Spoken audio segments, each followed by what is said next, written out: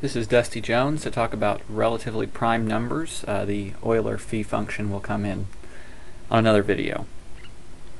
If the integers a and b have no common factors besides 1, we'll say that a and b are relatively prime. Uh, they have to have 1 in common because it's a factor of every number. But if the greatest common factor of two numbers is 1, uh, then a and b, those numbers, are relatively prime.